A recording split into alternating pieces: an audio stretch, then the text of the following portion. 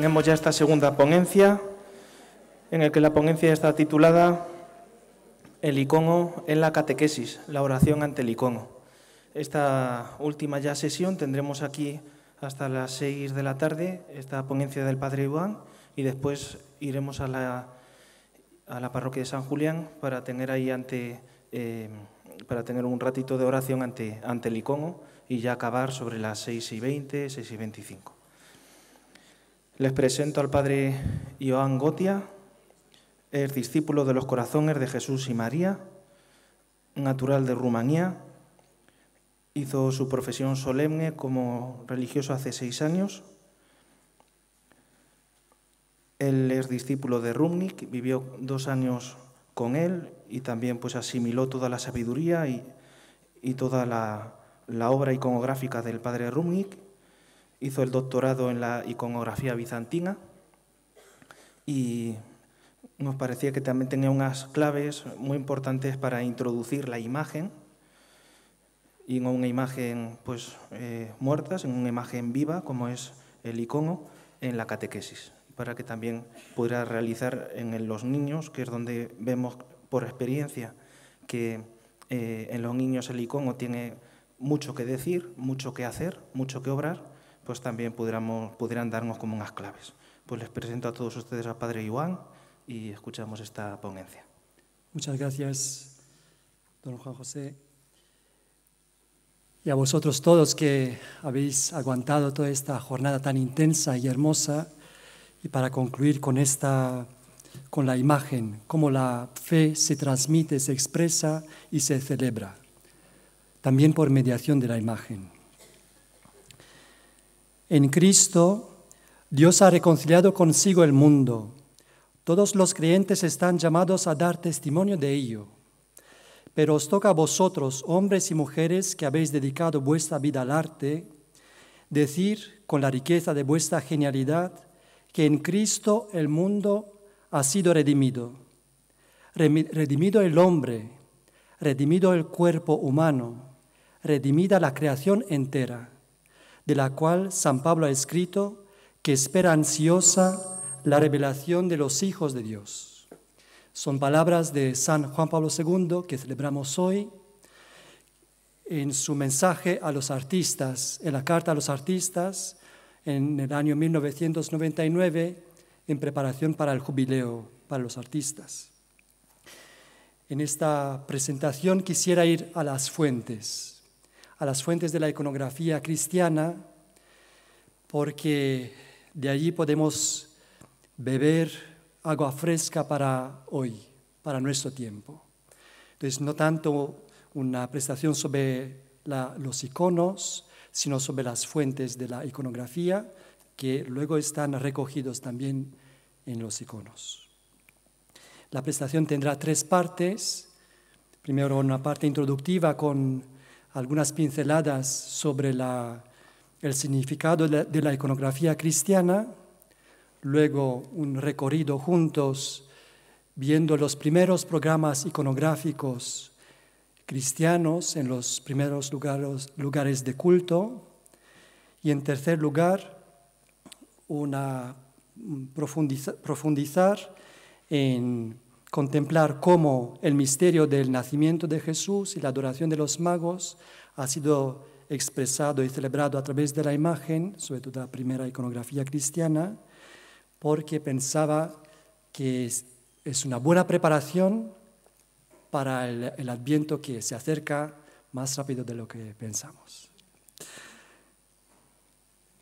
El don de la fe siempre se manifiesta como una fe encarnada, que necesita expresarse de forma concreta a través de la palabra, de la imagen, del canto, porque nuestro Salvador se hizo hombre para tocar y transformar desde dentro nuestra humanidad, nuestra vida, y regenerar así cada etapa de nuestro vivir humano. Y se pone la pregunta si es posible representar a Dios. Porque una imagen evoca una presencia, presencia de un ser querido o un paisaje, una situación. Y cuando hablamos de imagen litúrgica, es decir, imagen que acompaña la expresión y la celebración de nuestra fe, la imagen evoca la presencia divina y más aún, en cierto sentido, hace de intermediario para ponernos en la presencia de Dios. A través de la imagen nos ponemos en la presencia de Dios. Y al hacerse hombre, el Hijo del Padre revela la divinidad a través de la carne que ha asumido. Su carne se hace transparente de la divinidad. Se hace el Dios con nosotros. Y esta realidad la expresan con esta expresión tan gozosa los evangelistas cuando dicen, lo que existía desde el principio lo hemos oído, lo hemos visto con nuestros ojos, lo que contemplamos y contemplaron y palparon nuestras manos acerca de la palabra de vida, os lo anunciamos. En efecto, la vida se manifestó y nosotros la que, que la hemos visto damos testimonio. Por lo tanto, la posibilidad de representar el rostro de Dios con nosotros es una prueba segura de la encarnación. Y así lo han entendido todos los que han defendido el culto que se da a Dios por mediación de las imágenes. Y al representar el rostro de Dios, no se evoca simplemente su presencia terrena, hace dos mil años, sino que se establece ahora, cuando se contempla la imagen, cuando se celebra la fe litúrgicamente, es un, entrar en la relación con Cristo resucitado a hoy mismo. Es entrar en el ahora de la relación concreta con Él de Él que ha entrado en la historia y que la ha asumido, la transforma e incluso transforma el tiempo. Para Él el tiempo es asumido y todo se hace contemporáneo a Él, porque Él es Dios. Y asume toda la historia del hombre y nosotros en este año 2022 nos hacemos contemporáneos a Cristo y contemporáneos a todos los testigos de la salvación divina, del Antiguo Testamento, del Nuevo Testamento y de nuestro tiempo. Somos contemporáneos porque Cristo ha asumido el tiempo y lo ha redimido también. Cuando representamos el rostro de Cristo y le damos culto litúrgico, cuando besamos la imagen, la incensamos, le rezamos, la tocamos con la frente, cantamos, no solo evocamos, como decía, al Cristo nacido, encarnado en aquel momento histórico concreto de hace dos mil años, sino que nuestra mirada, nuestro contacto, nuestro tacto, nuestra voz, nuestra oración se dirige a través de la imagen a Cristo mismo resucitado. La imagen se hace como intermediario y la nuestra oración, nuestra adoración va directamente al prototipo, va directamente a Cristo. Nosotros no adoramos las imágenes, sino adoramos a Cristo que se hace presente a través de esa semejanza de las imágenes. Luego además también el que el iconógrafo o el escultor, el músico, que recibió el don artístico para servir a este encuentro con Cristo presente, resucitado a través de la imagen, se dispone a esta relación, a este encuentro con Cristo, también a través del ayuno, de la oración, porque necesita de la purificación. Necesita que sus sentidos, que todo su ser se purifique para que se haga un instrumento dócil para que otros también que se acerquen al Señor a través de la imagen puedan encontrarlo eh, con esta mediación y sin, sin que el artista pusiera algún obstáculo a este encuentro. Como ha acompañado la imagen litúrgica desde el inicio la celebración de la fe en los primeros lugares de culto. Tenemos delante una imagen de un primer lugar de culto, una, la Domus Ecclesiae, es decir, la casa de la iglesia de Dura Europos en Siria de hoy, del siglo III, y que nos muestra un poco cómo se celebraba la fe en este primer lugar, edificio de culto. Se llamaba Domus Ecclesiae, casa de la iglesia, para designar no simplemente un edificio donde se reunía la comunidad, sino para designar la casa de la iglesia, es decir, la familia de la iglesia, conscientes de que todos somos una familia porque hijos del mismo Padre, que hemos sido dados a luz en el bautismo. Y podemos ver en esta, en esta imagen, vemos al lado izquierdo el espacio que se dedicado al culto de la, misa, la reunión eucarística. Luego, vamos a pasar a la siguiente imagen porque también tiene personajes y así se puede, se puede, nos podemos meter más. Para la liturgia, para la catequesis, perdón, para la catequesis y para la celebración del bautismo. Es un lugar de culto eh, plurifuncional, como muchas de las parroquias. Y también era un lugar para alojar al sacerdote y a los diáconos y a sus familias. También tenía algún espacio para eh, recoger comida para los pobres. Y en este espacio de culto vamos a ver cómo estaba decorada la capilla del bautismo, el baptisterio, que recoge primera primer testimonio sobre la iconografía cristiana, vemos que el lugar principal, a ver si encuentro aquí, en, la parte central, está la fuente bautismal, cubierta por este ciborio sostenido por dos columnas grandes, y el techo eh, y también la parte eh, debajo del arco están decorados de color azul con estas estrellas blancas para indicar que a través del bautismo los feligreses, los cristianos, entramos en el cielo. Se nos abre de nuevo el acceso al cielo. Y en el arcosolio que está encima, aquí, que está encima de la fuente bautismal está representado Cristo buen pastor, luego veremos algunos detalles, se verá mejor.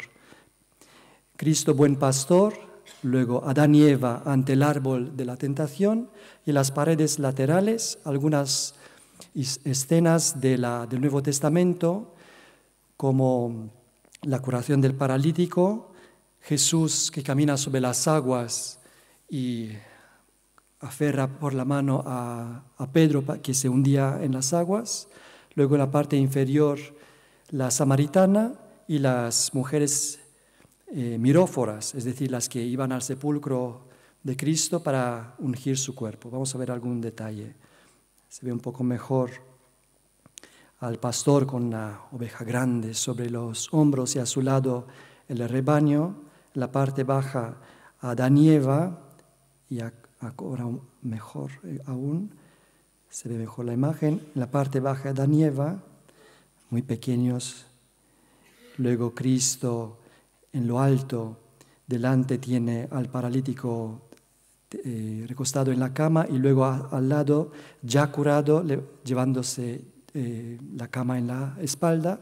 Al lado derecho se intuye aquí la figura de Cristo que camina sobre las aguas y coge por la mano, por el pulso, a Pedro, la samaritana al pozo y luego las mujeres miróforas que se acercan con velas encendidas ante al, sepulcro, como hemos visto antes y lo veremos enseguida también, al sepulcro representado como un, como un sarcófago y flanqueado por dos grandes estrellas para simbolizar la presencia de los dos ángeles que anuncian la resurrección.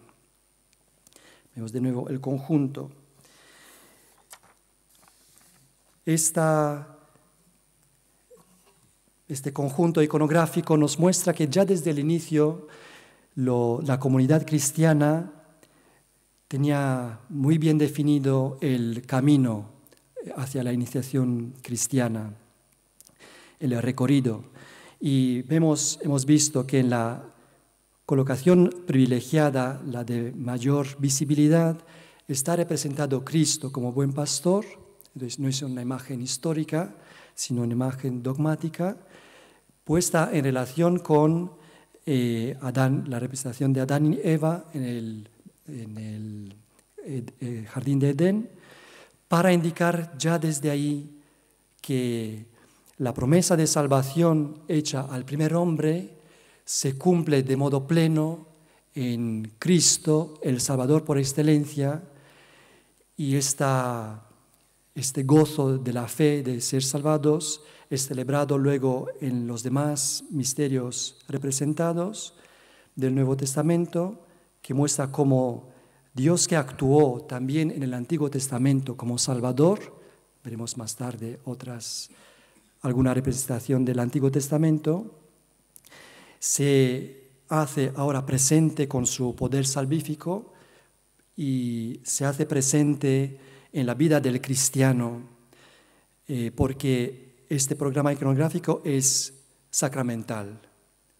Está a través del bautismo, se accede al cielo, luego las mujeres miróforas que se acercan al sepulcro no son solo una referencia al momento histórico cuando se acercaran en el día de, de la resurrección de Jesús, sino que representan también la comunidad de los neófitos, de los recién bautizados, que en la vigilia pascual por la noche se acercan con las velas encendidas para gozar juntos de la luz de Cristo resucitado que los ha acogido en su presencia. Vamos a ver ahora otros programas iconográficos, ahora ya en algunos ambientes funerarios en Roma, contemporáneos al baptisterio de Dura Europos, y vemos esta cripta, este cubículo, perdón, en el centro. Está representado de nuevo Cristo buen pastor, luego veremos detalles, luego a su alrededor tiene alguna referencia a las cuatro estaciones, porque Cristo redime también el tiempo y da fruto a nuestro quehacer. Luego eh, está rodeado por distintas representaciones del Antiguo Testamento, al lado izquierdo nuestro está el sacrificio de Abraham, a la derecha los tres jóvenes judíos en el horno que rechazaron adorar al ídolo, y luego en la pared del arcosolio de enfrente, encima de la tumba de la defunta aquí eh, enterrada, está la misma defunta orante, ya entrada en la vida eterna, en esta actitud eh, de receptiva que acoge la vida, la vida plena, y luego dos momentos de su vida en la tierra, que ahora veremos más de cerca algún detalle. Ahora se ve mejor toda la bóveda. También, además de las imágenes que he mencionado, está también otro momento de salvación, ahora de la vida de Jonás, con el monstruo, la ballena que le escupe en la orilla después de tres días el buen pastor flanqueado por las ovejas y dos palomas con un ramo de olivo en el pico, dos porque por razones de simetría, pero que hace referencia a otro momento eh, salvífico del Antiguo Testamento, de Noé. porque en Cristo se resume toda la historia de la salvación. Vemos a la orante, luego al lado izquierdo la orante, la esposa con su esposo ante el obispo, al lado derecho la, difunta, la madre con su hijo amamantándolo, luego Abraham con su hijo Isaac, que lleva el peso de la madera sobre los hombros, como haciendo ya referencia a Cristo, que sube el Calvario con el madero de la cruz voluntariamente, y Abraham que indica ya el altar con el fuego para el sacrificio.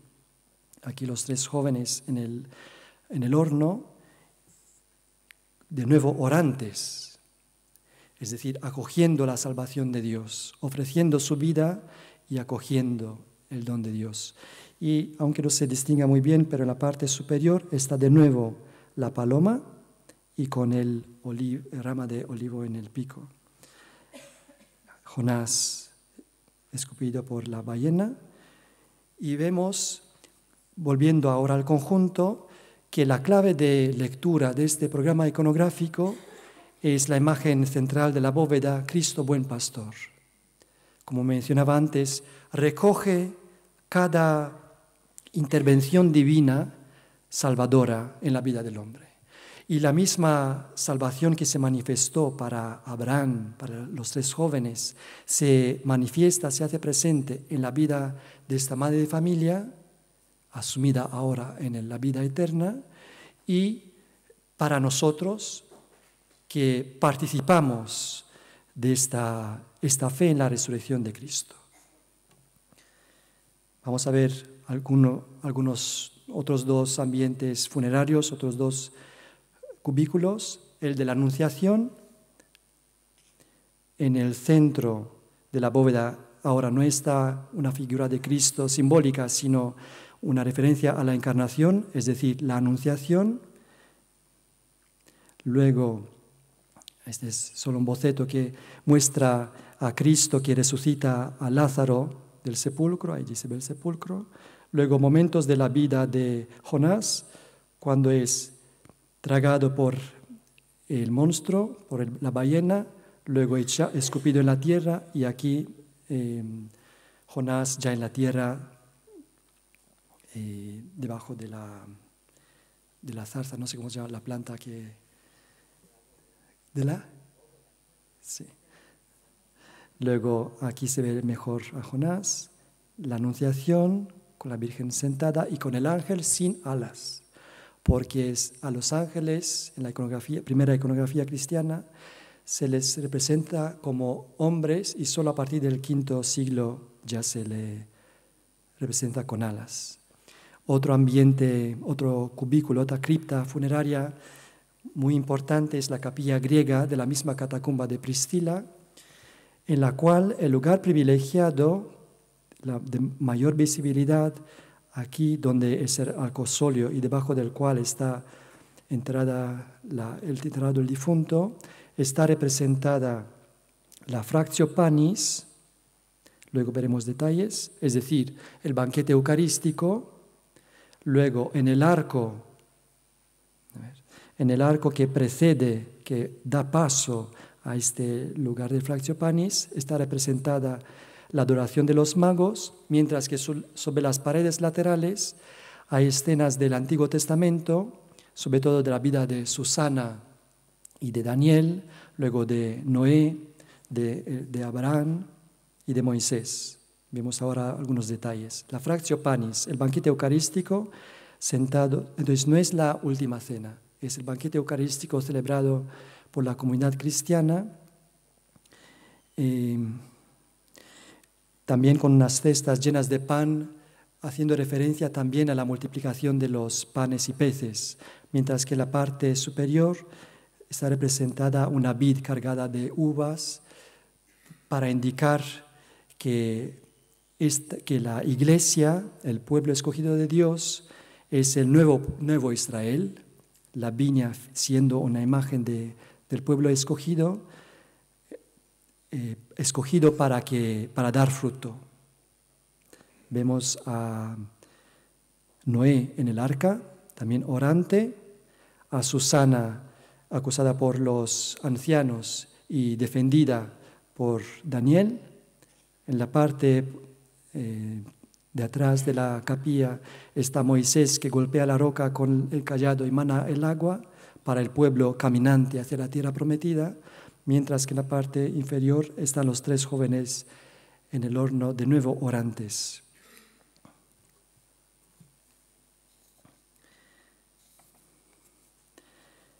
¿Qué es lo que ha determinado la formación de estas, estos programas iconográficos?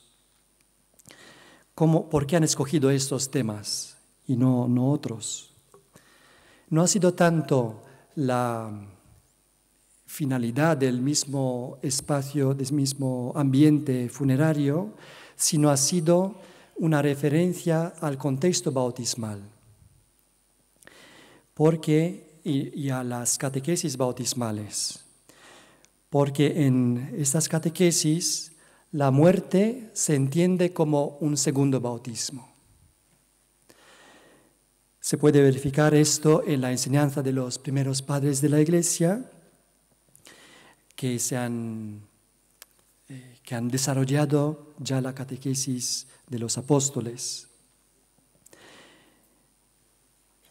y, también de las palabras de Cristo mismo, quien dijo en el Evangelio de San Mateo, podéis beber el vaso que yo voy a beber o ser bautizados con el bautismo con que yo voy a ser bautizado, o en Lucas, con un bautismo tengo que ser bautizado, y qué angustia, qué angustiado estoy hasta que se cumpla. Es el bautismo de la pasión. Ya la pasión está presente en el bautismo. ¿O es que ignoráis, dice San Pablo a los romanos, es que ignoráis que cuantos fuimos bautizados en Cristo Jesús, fuimos bautizados en su muerte? Fuimos pues con Él sepultados por el bautismo en la muerte, a fin de que, al igual que Cristo fue resucitado de entre los muertos, por medio de la gloria del Padre, así también nosotros vivamos una vida nueva. Por lo tanto, en estos ambientes funerarios y, también en los ambientes bautismales, el tema esencial es la salvación y la entrada en la vida eterna. los primeros cristianos tenían esta costumbre de celebrar el día de la muerte de, los, de sus hermanos cristianos y, de modo especial de los mártires, llamándolo dies natalis, día de cumpleaños, día de nacimiento, porque era el día de nacer al cielo.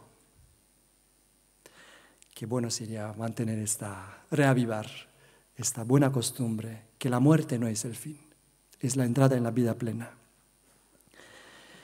Y luego las figuras paradigmáticas de salvación del Antiguo y del Nuevo Testamento muestran cómo los primeros cristianos, siguiendo el ejemplo de Cristo mismo, interpretaron la Sagrada Escritura a través de haciendo una lectura tipológica, es decir, interpretar todo lo del Antiguo Testamento a la luz de Cristo resucitado.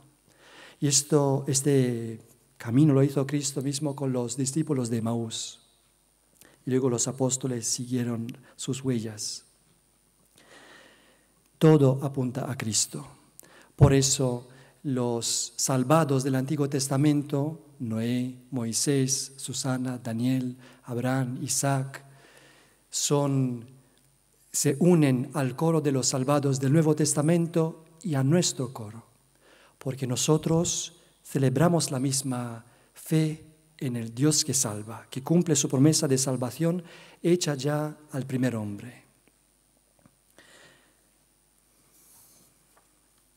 Luego, una última eh, pincelada sobre el modo de representar esos misterios. ¿Qué lenguaje iconográfico han escogido los cristianos? Es interesante ver que la primera iconografía cristiana ha nacido vieja.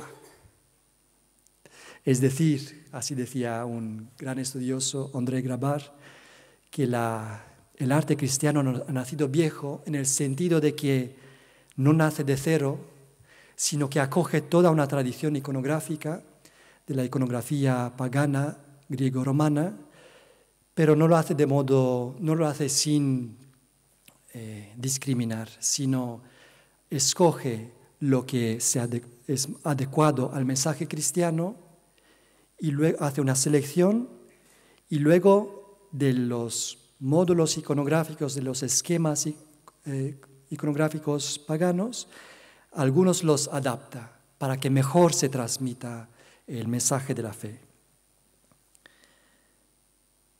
Vamos a pasar ya al este recorrido a través de la iconografía del nacimiento del Señor.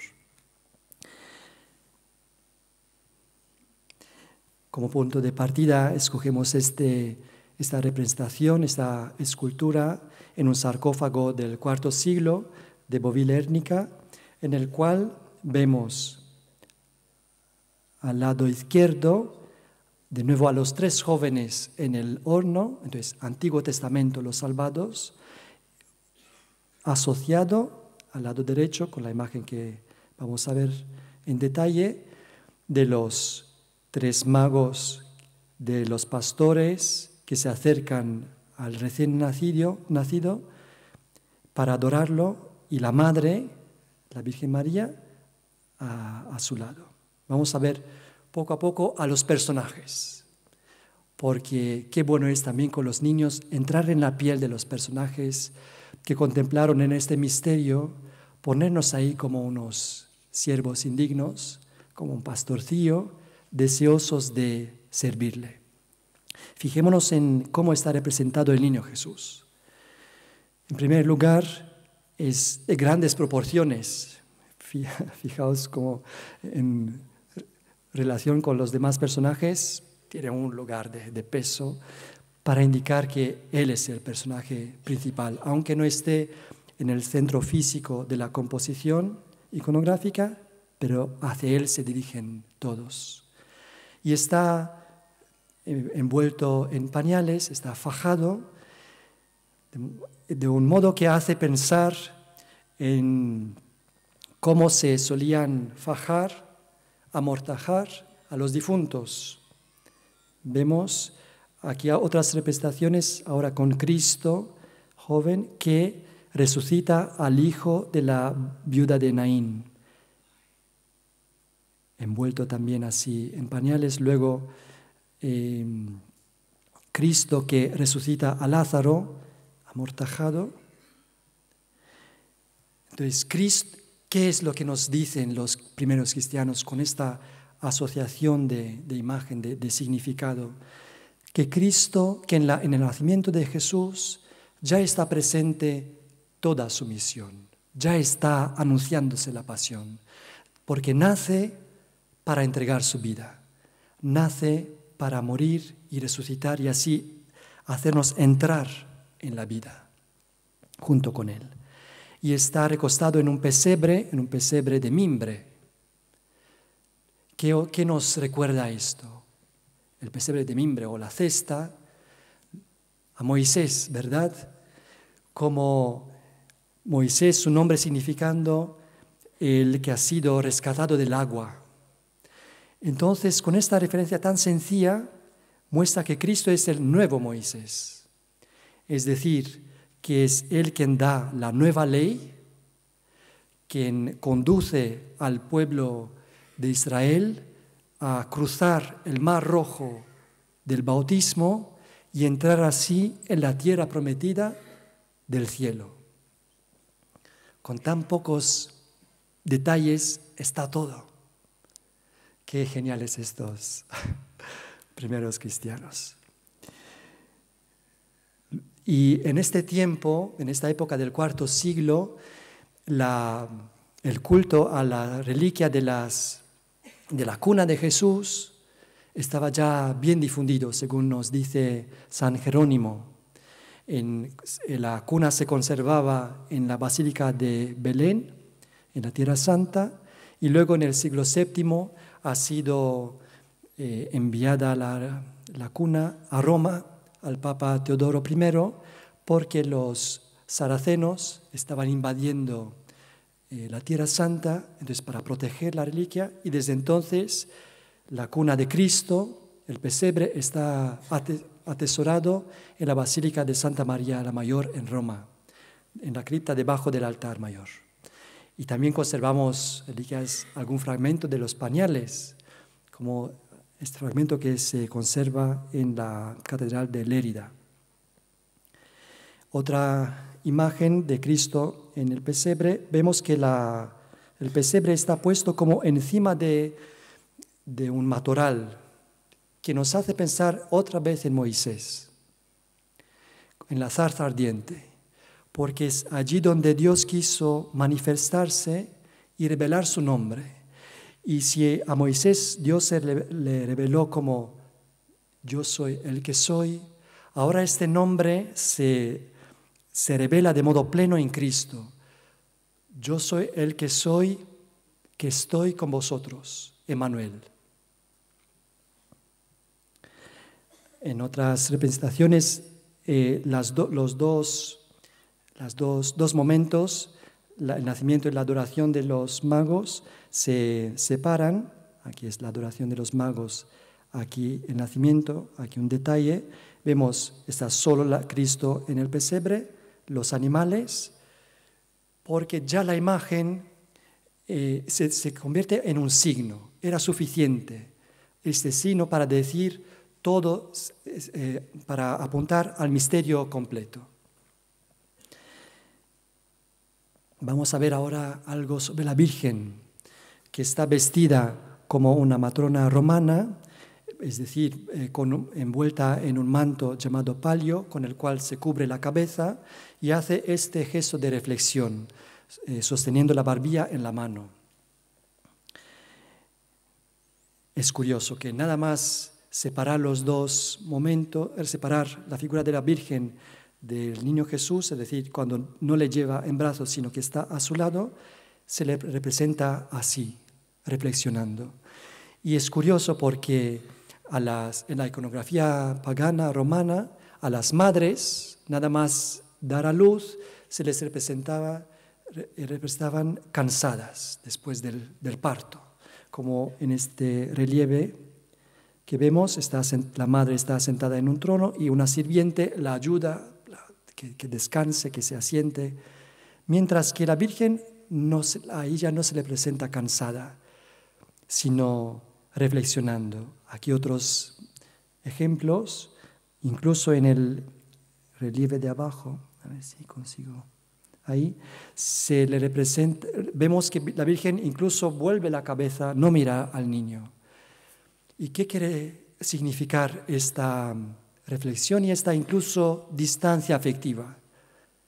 No quiere decir que, no le quería al niño Jesús, que, que estaba toda para él, sino que este modo de representar a un, personaje eh, reflexionando era para decir, para indicar al discípulo ante el maestro, al discípulo que, que escucha, que reflexiona.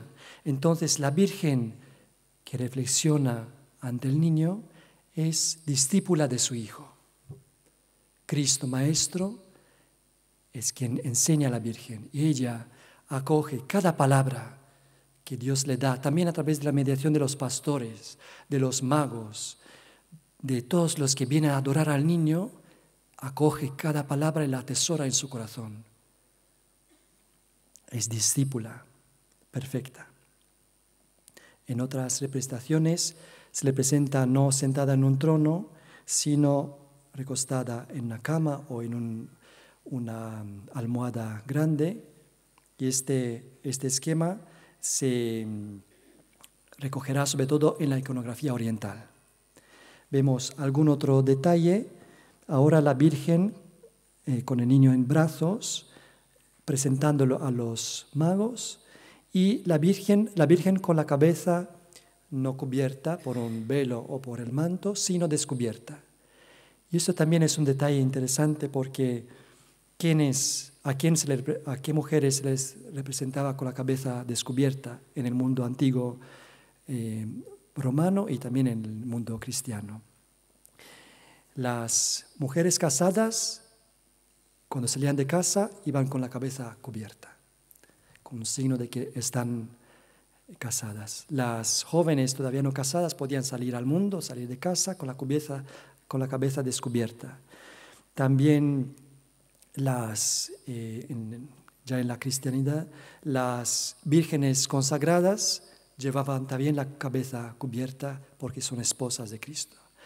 Y al representar a la Virgen con la cabeza descubierta, se- es como una indicación, una referencia a su virginidad, a su integridad virginal, que ella es virgen antes, durante y después del parto. Vamos a ver ahora eh, al pastor, al pastor que está también indicando hacia el niño, eh, levantando el brazo o reflexionando, y este gesto levantar la mano como dando testimonio es un modo de representar presente también en la iconografía pagana romana, en el ceremonial militar, cuando el testigo ocular de la divini- divinización del emperador después de su muerte, cuando era elevado al cielo, el testigo levantaba la mano y certificaba que es un ser divino. Entonces, el pastor, ya en la iconografía cristiana, hace este gesto de dar testimonio, es el iurator, para dar testimonio que el que ha nacido, el rey, el verdadero emperador, es Dios. Están también los animales, están presentes, aunque en el, en el Evangelio, en los Evangelios de San Mateo y San Lucas, no se les menciona, pero esta alusión, esta indicación del pesebre ya hace alusión a los animales. Y los cristianos, eh, primeros cristianos, también interpretaron un paso del, del libro de Isaías que anunciaba que mi pueblo, mi pueblo no me reconoce, pero el buey y la mula reconocen a su amo. Entonces, los animales reconocen a su creador, los hombres no, pero los animales sí. Y esta, esta representación del buey y de la mula también más tarde ha sido interpretada como una, una indicación del pueblo de Israel y del pueblo de los gentiles que juntos reconocen y adoran al Dios, a Dios nacido. Entonces es ya la iglesia entera que se une en la misma adoración. Vamos a ver ahora más rápidamente un poco a los magos, porque el tiempo vuela. Los magos que se acercan a adorar al niño, el primero de ellos volviendo la cabeza hacia atrás para indicar la estrella, los magos están representados eh, como los, según el hábito, los vestidos persas, porque los romanos representaban a todos los bárbaros, es decir, a los que no estaban en el imperio romano, con este modo, eh, con esta moda eh, persa, es decir, con, este gorro persa, con un manto corto, con eh, túnica, eh, cinta, eh, con un cíngulo, luego con pantalones estrechamente plegados sobre lo- los, los pies. También la iconografía pagana romana, a los bárbaros vencidos que, que venían a rendir homenaje al emperador vencedor, se les representaba así de rodillas o, o en procesión, acercándose y llevando sus dones, en primer lugar coronas, coronas de oro, para coronar al, al emperador que ha vencido. Es, y se entendía en la iconografía imperial es la victoria del emperador como una liberación, una salvación. Entonces, al retomar este modo de representar a los magos se indica que ellos reconocen en el niño recién nacido al verdadero emperador del universo, rey de los reyes, a quien les llevan sus dones, el primer don, la corona de oro, luego la, la mirra y el incienso, como Dios, como hombre y como rey. Vemos también que a veces el número de los magos eh, no está muy claro, a veces son tres, aquí son cuatro, porque a la Virgen con el niño sentados en el trono, ahora están eh, colocados centralmente, frontalmente. Entonces los magos se acercan desde los lados en procesión y por razones de simetría, en vez de tres, se ponen cuatro. Algo parecido, pero reduciendo el número, se ve en esta catacumba de San Marcelino y, eh, Pedro en Roma cuando son solo dos. Aquí un poco más de cerca. Siempre cuando se le presenta a la Virgen con el niño en brazos, se ve que está sentado, sentada sobre un trono, porque la dignidad del niño, que es el rey del universo, se irradia sobre la madre. Ella es la madre del rey. Vamos a ver también otro personaje, el profeta, que está detrás del trono de la Virgen con el niño y que indica la estrella. Podría ser un profeta en general, como recogiendo todas las profecías del Antiguo Testamento, o eh, concretamente podría ser Balán, quien anunció la venida de, la estrella de David y el, y el,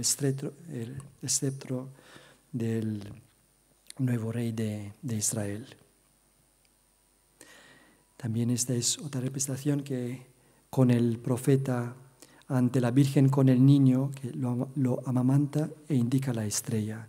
Esta es la primera imagen mariana conservada de final siglo II, inicios del siglo III, también en la catacumba de Pristila. Nos acercamos al, casi al final. Em, en este sarcófago vemos como la adoración de los reyes magos está puesta en paralelo con la creación de Adán y Eva.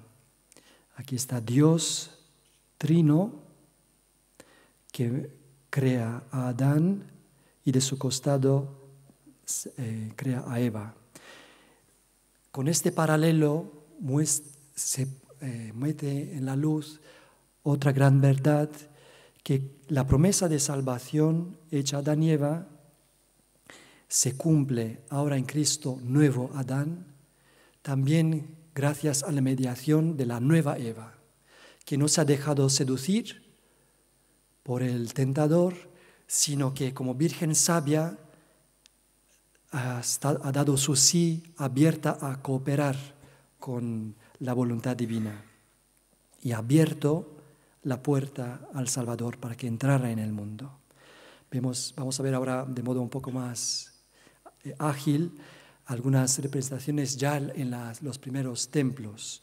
Aquí en Santa María la Mayor, en el arco triunfal ante, del presbiterio, vemos al niño Jesús, ahora claramente como un rey sentado solo en el trono, rodeado por la corte de los ángeles que hacen de guardia, por la Virgen sentada también y una, personificación de la iglesia, los magos a sus, a sus lados trayendo sus dones y la figura del profeta es sustituida por la de José, testigo de la encarnación de Dios. Y en, el, en la aureola del niño se intuye, no es una imagen muy buena, pero se intuye una cruz porque es a través de la cruz que Dios salva. Y esta, esta misión ya se anuncia desde el inicio del reinado del nuevo rey. Ah, esta es un mosaico de Ravenna, la Virgen sentada en el trono con el niño. Vemos al lado izquierdo a los magos que se acercan con sus dones y ahora se identifican, no solo los dones se diferencian, sino también se diferencian las edades de los tres, joven, adulto y ya anciano, para mostrar que Cristo entra en la vida del hombre y la redime en cada etapa de la vida del hombre. Redime y salva al hombre entero. Esto en, Santa María la Mayor, ahora ya separados los dos misterios del nacimiento y la de la adoración de los magos, vemos al niño en la cuna puesto por la Virgen, recostada en esta cama, eh, como hemos visto en la primera iconografía cristiana, y los animales que alargan como el cuello para nutrirse, nutrirse con Cristo, porque Él es el verdadero alimento y pan de vida. Y a los, en la parte inferior a San José, sentado aparte, reflexionando. Es como un modo de indicar el sueño de José. José que se abre, él también, él también recibe una anunciación. La anunciación del ángel Gabriel que le invita a abrirse, a acoger a la Virgen y al niño y ser custodio de este gran tesoro. Aquí los tres magos, que ahora se les representa como reyes, si antes eran como magos, ahora ya como reyes, reyes que reconocen al rey. Aquí en Santa María in Trastevere, aquí ya en siglo XII en Palermo, en el sur de Italia, vemos como la, eh, el haz de luz de la estrella baja claramente sobre el niño para indicarle como luz de las naciones, luz del mundo, que alumbra la oscuridad del mundo. Ahora ya un, un icono ruso del siglo XV el, cual recoge todos estos detalles que hemos visto en nuestro recorrido. Los tres magos no son representados como reyes, pero sí como magos de distintas edades llevando sus dones ante el niño. Los pastores y los ángeles adoran al niño con las manos veladas, tapadas por el manto, como signo de adoración, como hace el sacerdote en llevar al Santísimo, al bendecir con el Santísimo, se vela, se tapa las manos como signo de adoración que Él está, el Señor, entre nosotros. Y la Virgen está sentada también en esta actitud reflexiva, también como San José, la Virgen sabia, nueva Eva. Y un detalle más, la parte inferior están las mujeres que están lavando al niño recién nacido y la forma de la de la fuente, de la bañera, es la de una pila bautismal. Porque en el bautismo nacemos con Cristo, nacemos en el cuerpo de Cristo, entramos en su misma vida. Y últimas dos imágenes, alguna pintura contemporánea, está pintada en el Colegio Stella Maris La Gavia en Madrid y esta otra en Rumanía este verano, vemos como los magos llevan sus dones, a, José, vemos más de cerca, llevando el callado eh, del cual brotan las hojas o pueden también florecer. ¿Qué quiere decir esto? Es como una referencia a Aarón. Aarón que ha sido escogido para ser sacerdote de la tienda del encuentro, custodiar como guardián del arca de la alianza, como signo de su elección ha sido que su callado ha florecido. Y representar a José así, con el callado florecido, quiere decir que es el custodio, el guardián del arca de la nueva alianza, que es la Virgen, y que custodia al pan de vida, al maná del cielo, que es Cristo mismo. Esta imagen que también la tenéis cada uno de vosotros y que la vamos a contemplar en la capilla del templo, en el templo mismo. Solo una, una pincelada porque la veremos en oración en el templo. la cueva que se abre para acoger al niño eh, está llena de estrellas porque Cristo que es luz trae su luz en las tinieblas. Ya las tinieblas están vencidas. Es Él quien cumple esta promesa de salvación hecha a los primeros padres y renovada cada vez en la vida de los que se fían de Él, se fían de su promesa, porque Dios siempre cumple sus promesas. Muchas gracias.